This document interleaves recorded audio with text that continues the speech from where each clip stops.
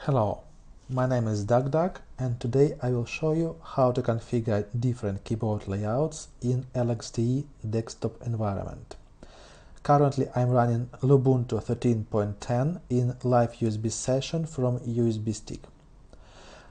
The guide given here will not suit all LXDE distributions because not all of them have this option.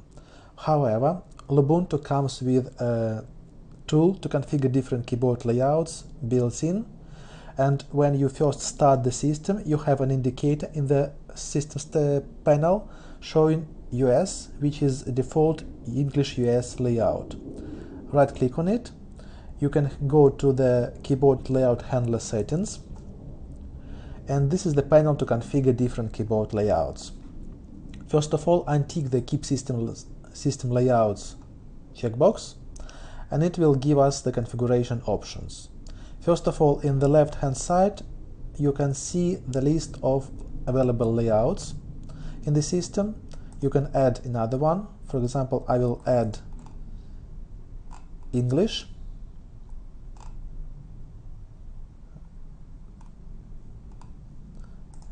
British version of it. Next, I will add Russian.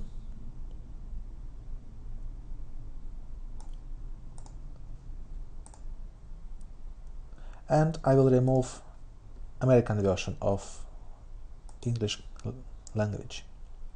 Now I have GB and RU indicators here.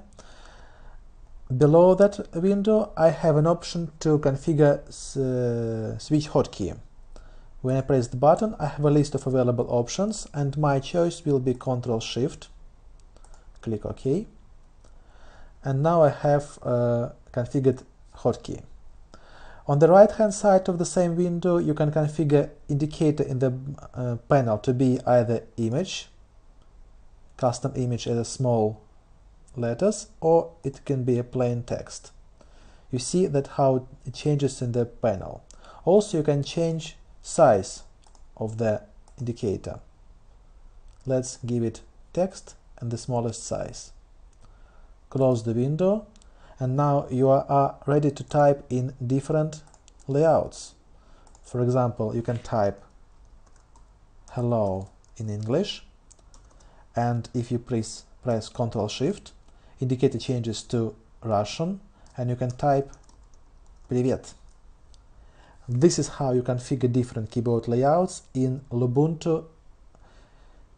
Thank you very much.